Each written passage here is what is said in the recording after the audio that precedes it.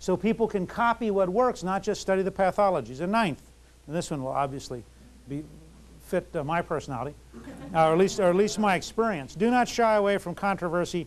This is a choice between two value systems, two power structures, and two visions of America.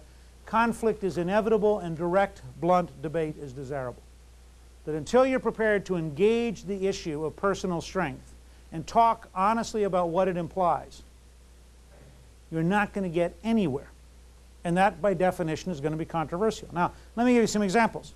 I would suggest that in American civilization, that Americans favor work over idleness, saving over debt, family over individual chaos, helping your children over abandonment, responsibility over irresponsibility, learning over ignorance, and responsible citizenship over indifference.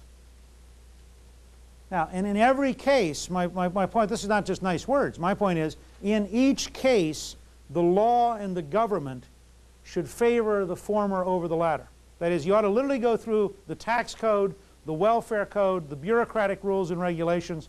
You should go through the entire structure of government and say, are we sending signals that favor work over idleness, that favor saving over debt, that strengthen family over individual chaos, that give you an incentive and a, and, and a legal structure to help children rather than abandon them?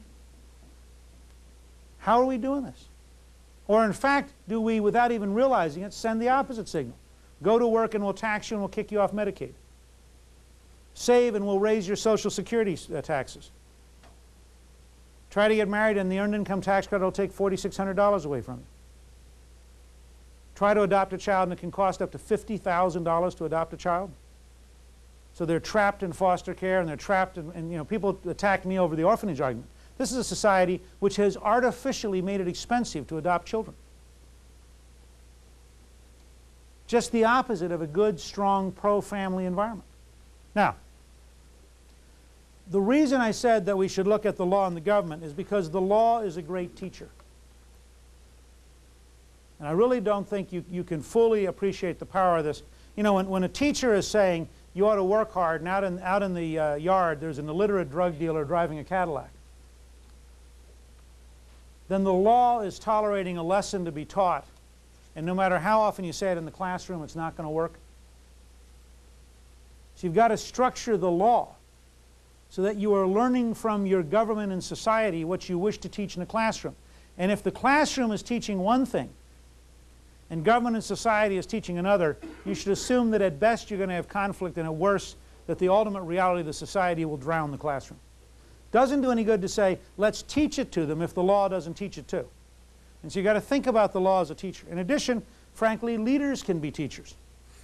It's very, very important to recognize that leaders play a very, very important role and that the way they model, what they say, where they go, is a very important part of this process of teaching. You go to the Boy Scout Jamboree or not? Do you, do you, go to the Girl Scout National Meeting or not? Do you think the Salvation Army is important enough to visit or not? What, what, how does a leader spend their time and where do they go and who do they see and then what do they talk about? These are important factors.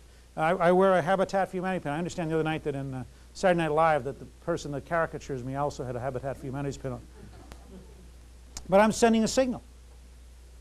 I'm saying Habitat for Humanity is a good program and that others ought to have a pin too. You pick the program you like, but tell me what you're doing that's important. Because these are signals. They matter. They communicate. Um, public symbols and awards can teach. That's why the thousand points of light wasn't a bad idea. That's why when, when you find ways, you know, as you'll see later on we talk about Deming and quality. Creating a Baldrige Award at, the, at least created a sense of looking at things. You know, people say, wow, they must think quality is really important getting a scholarship, having a star student. These are good things to do because they help the society talk to itself about what, what it values.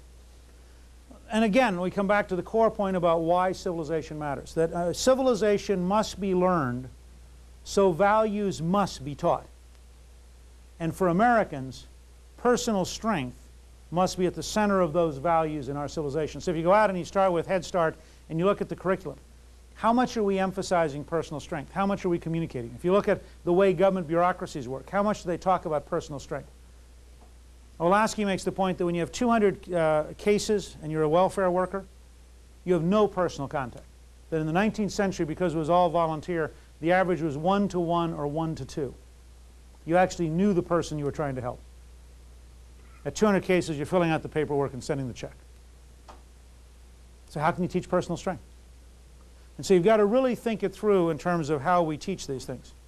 Now, I want to take, for the next few minutes, one of the two people who I think is at the center of the revolution in American productivity and success in the 20th century. He's actually, interestingly enough, an Austrian by birth, came to the U.S. Uh, in the early 19, the late 1920s. Uh, still alive, still writing in his mid-80s, uh, has an article out this month in the Atlantic Monthly, in the February edition, called Really Reinventing Government by Peter Drucker. And it's just fascinating to me. Here's a guy who in his, in, I think he's now like 85 or 86, still teaches at Claremont College, still writes, clearly the greatest management writer of the 20th century. He and Edwards Deming, who I'll talk about in a little bit, who died at 93 while still teaching. They're exemplary models of the idea that in the information age, our whole sense of aging is going to change, which as they get older, I think is cool.